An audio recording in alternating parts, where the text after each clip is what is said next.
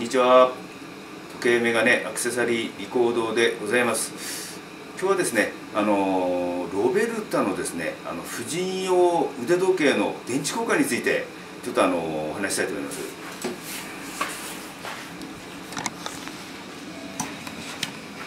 まあちょっとねまあちょっと途中なんですけどねこういう蓋開けて今こういう婦人物のこれちょっと水性の機械入ってるんですよね。こういうタイプで。ね。ちょっと懐かしいとこなんですよね。まあちょっとまあ電池を外してこのようにですね。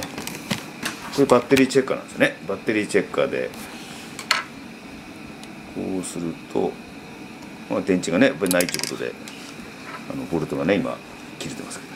まあ、あとこの電池こちらの SR621SW をあの入れてあと蓋をするだけっていうことでございますので、まあ、あとねこういうふうにして、まあ、こういう交換もあの懐かしい時計の電池交換もあの対応いたしますのでね、まあ、どうかよろしくお願い申し上げます。